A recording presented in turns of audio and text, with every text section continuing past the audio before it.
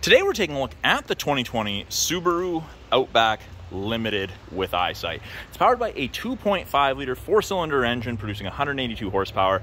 Plenty of get up and go in a vehicle of this size. Of course, you have Subaru's legendary full-time symmetrical all-wheel drive and a minimum ground clearance of 8.7 inches. At the back here, we do have a proximity tailgate. So long as the key is on your person, you block the logo, it beeps, and it opens. Or you can open it from the key fob, the door, or the driver's seat itself. Lots of room in the back of the Outback, very tall, wide, and deep.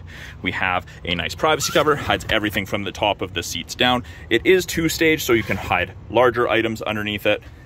Does come with a cargo tray. We have a 12 volt power outlet for any charging needs nice hard physical tie downs one in each corner. And in addition to the cargo tray, we have the seat back protector. So if you fold the seats flat,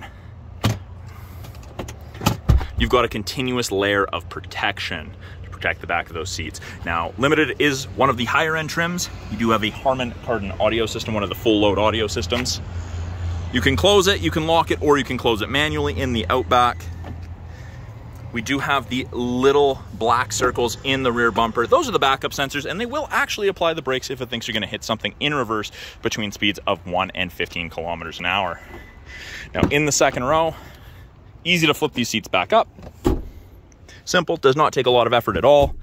Limited does have the leather trimmed upholstery there's good headroom, excellent leg room. The outer two seats are heated with high and low settings. You've got two USB ports for charging and vents out of the center console to keep that second row hot or cold. Now, the Outback does come with these roof rails with built-in crossbars.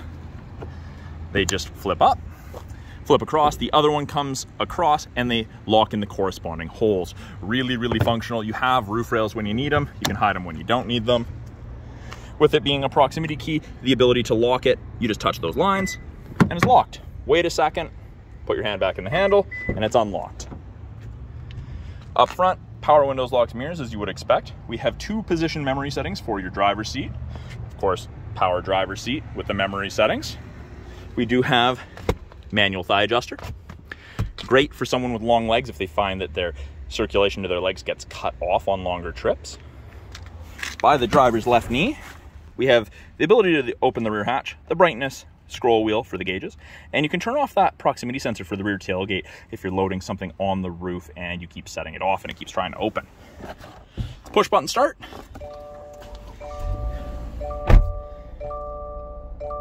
There's currently 44,897 kilometers on the Outback.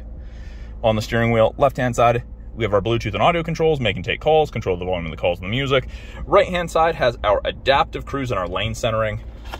All of the safety stuff is controlled through these two color stereo eyesight cameras. Subaru's done something really smart, mounted it behind the windshield because the windshield's cheaper to replace than sensors or cameras. Down below, we have our all-important heated steering wheel. It does not heat between the seams, just kind of where you're supposed to keep your hands safety first. Subaru's easy to use infotainment. It's 11.6 inches of touchscreen, broken into three sections. The top portion, we have access to X mode, navigation, destination, water temp, oil temp, bunch of different things. We've got our main screen with our navigation. There's no subscription for the TomTom navigation. It's free for life, just comes with the vehicle. It's also our backup camera as soon as you put it in reverse. Backup camera pops up, rear assist braking, parking sensors, and you can clean the backup camera from inside the vehicle, which is great, especially in our springs here. Bottom portion is climate control. We do have physical buttons for adjusting the temperature if you need, or you can click, brings it up.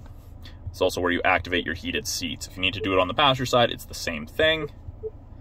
And if your passenger gets out and you need to sync it, there you go. This screen will disappear on its own without any input from you. Fan strength, adjustment for airflow.